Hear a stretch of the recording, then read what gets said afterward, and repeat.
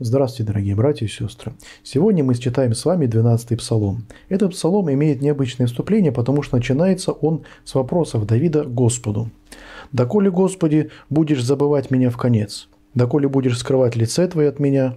Доколе мне слагать советы в душе моей, скорбь в сердце моем день и ночь?» Четыре вопроса с одним словом «доколе». Эти повторы усиливают смысл, а смысл, собственно говоря, этих вопросов один. Когда же я вновь почувствую, Господи, что Ты со мною? Сколько ждать еще? Однако и эти вопросы можно назвать риторические. Нужно понимать, что Давид через них выражает сильнейшее желание, чтобы Господь вновь посетил его душу. Такая утрата божественной благодати в христианстве именуется богооставленностью. Именно о ней сегодня мы и поговорим. Почему же Господь оставил Давида? Многие, наверное, ответят по причине греха. Ну, если смотреть на суть дела только внешне, то да, это так и есть. Однако в таком случае напрашивается справедливый вывод. Не греши, и Бог тебя не оставит. Или по-другому, святых людей Бог не оставляет. Но так ли это на самом деле? Вот ближайший ученик преподобного Силана Афонского, архимандрит Сафроний Сахаров, пишут следующие слова. «Всякому человеку, подлинно взыскавшему спасение, необходимо пройти через опыт Бога покинутости». Так называет он именно богооставленность. И вот действительно многие святые свидетельствуют о прохождении такого опыта, а Псалом 12 говорит нам, что и пророк Давид не был его лишен. Святой Иоанн Златоуст со свойственной ему глубиной исследования говорит следующее. «Почему же скажешь, он знал, что Бог забыл его?» Он говорит про царя Давида. «Потому что он, то есть Давид, знал и то, когда Бог помнил о нем и ясно понимал, в чем состоит это забвение и в чем это памятование». Смысл слов святителя Иоанна в том, что понять богоставленность может только тот, кто опытно знает богоприсутствие, то есть имеет опыт близкого общения с Богом. Таким образом рождается диаметрально противоположный вывод. Богоставленность – это опыт жизни людей, стремящихся к святости, а грешный человек, в принципе не знающий Бога, как может понять то, что Господь его оставил? То есть, если ты с рождения не видел солнца, как можно понять, что его нет? Поэтому причиной богооставленности правильнее искать не в грехе, а в божественной педагогике. Помните, в прошлом году мы разбирали притчу «Кого Бог любит, того наказует». Вот вновь послушайте чтобы вспомнить о том, как Господь воспитывает своих детей и ведет их к духовному совершенству. Что же через этот горький опыт богооставленности воспитывает в нас Господь? Духовная жизнь христианина имеет свои этапы. Первому этапу характерна бурная духовная деятельность.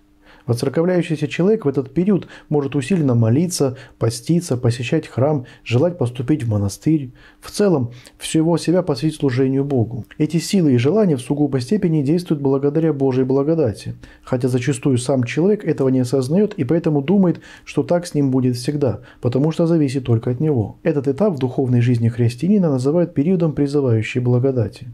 Сменяет его второй этап, когда Господь уже не действует столь явно и чудесно, когда нам нужно применять многие усилия, чтобы совершить то, что раньше давалось очень легко. Молиться, посещать храм, читать Писание, все, что раньше было радостно, становится тягостным. И поскольку этот этап довольно длительный, то человеку начинает казаться, что Господь его оставил. Вот вновь послушаем преподобного Сафрония Сахарова. Умеренная степень всего испытания может сопутствовать нам долгие годы во втором этапе духовной жизни христианина, то есть когда промыслительно он претерпевает ослабление и даже удаление первой благодати. В этом неизбежном ослаблении есть глубокий смысл дать человеку проявить свою свободу и верность Богу. Вот он ответ, для чего Господь попускает богоставленность в жизни людей, стремящихся к Нему. Это период, когда мы можем явить свою любовь и устремление своей воли.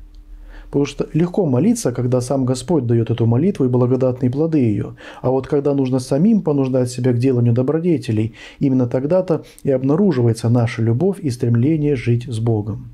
Есть иная важная причина богооставленности, потому что в этот период мы знакомимся с тем, кто мы есть на самом деле, кто мы без Бога. И это научает нас смирению настоящему смирению, опытному, а не то смиреннословие, которое присуще человеку, знающему свою немощь только теоретически из книг.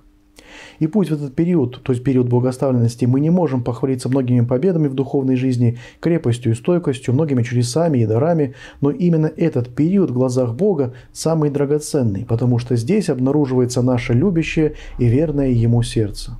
Именно так нужно смотреть на этот горький опыт богоставленности. Так на него смотрели святые – Нужно знать об этом, чтобы не впадать в смущение и отчаяние, если Господь попустит нам испытать его на практике. Но вновь подчеркнем, что все наши пояснения касаются людей, стремящихся жить с Богом по-настоящему, а те, кто довольствуется исполнением внешнего обряда, вряд ли коснутся законной духовной жизни. Итак, это главное, чему мы должны научиться из 12-го псалма – когда нам будет казаться, что Господь нас оставил и не слышит, будем перечитывать этот псалом и вспоминать то, о чем мы сегодня говорили. Также рекомендую почитать труды преподобного Силана Афонского и молитвенно обращаться к нему. Этот святой долгие годы испытывал горький опыт богооставленности и часто повторял «Скучает душа моя, Господи, влечется к нему день и ночь».